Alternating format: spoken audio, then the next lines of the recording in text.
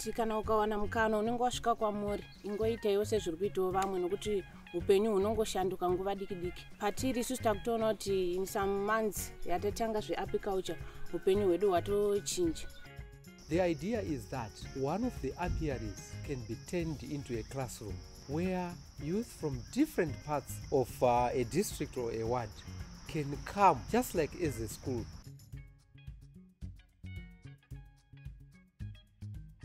Tinotarisira kuti tichazokwanisa kuti tigadzire mamwe mahives akati wandei mushure mekunge tahavhesta nyuchi dzedu uchi hwedu tatengesa uchi hwedu zvakadaro tiri kutarisira kuti tidyare miti kuitira kuti nyuchi dzedu miti yedu yakaita semijakaranda Bees are perfect for green jobs in the sense that they need very different plants.